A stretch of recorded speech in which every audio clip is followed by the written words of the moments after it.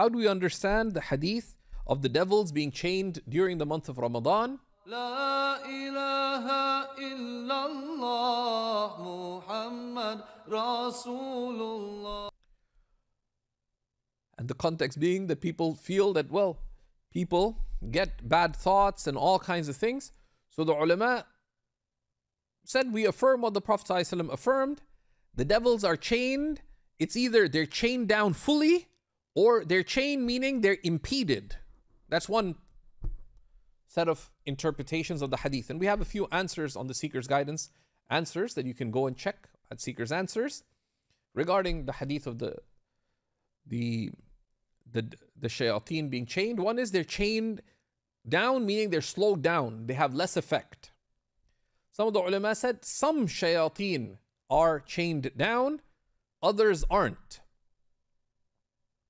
That it's a referential L. Some shayateen are chained down, but all of them are not. Some said no, the shayateen are chained down. The ill impulses that you get are arise out of your lower self, out of your nafs, al amara bisu, your lower self that urges you towards ill actions. And Ramadan gives you an opportunity to see what are your own weaknesses. And also, of course, ultimately, the devil does not do anything to you. The devil is like bad advertising. The shaitan simply points you with ill thoughts towards that which disadvantages you.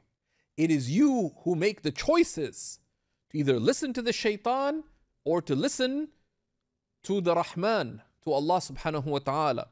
So listen to Allah, right? Listen to Allah. Right? And that opportunity exists whether it's Ramadan or outside of Ramadan as well. Walhamdulillah. لا إله إلا الله محمد رسول الله